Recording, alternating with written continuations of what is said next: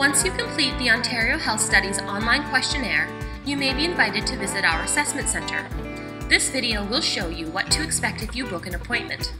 While you can opt out of any physical measurement or of giving a sample, please remember that providing this information will help researchers to better understand the factors that influence our health and quality of life. When you arrive at the assessment center, you will be greeted at the reception desk where you will check in and receive your itinerary for your visit. At this time, you will be asked to provide a small urine sample. Once this is complete, you will be asked to provide a small blood sample.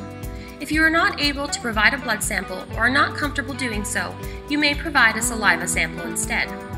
Following your blood work, an OHS measurement technician will escort you to your private measurement room. Before the technician begins, she will ask you a few questions to make sure you will be able to complete the assessments. For the first measurement, we will measure your standing and sitting heights to calculate the length of your legs and body. Please note that you will be required to remove your shoes for this measurement. Next, in order to measure your muscle and fat tissue, you will be asked to stand barefoot on a scale-like machine for a few moments. This machine will measure such things as BMI and body fat percentage. The size of your waist, hips, and neck will be measured with a tape measure. To do this correctly, we may ask you to shift or remove bulky clothing.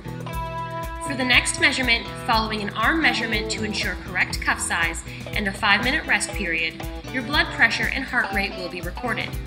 You will be asked to sit quietly with your feet flat on the floor during these measurements. Next, you will be asked to squeeze a small tool with each of your hands as hard as possible.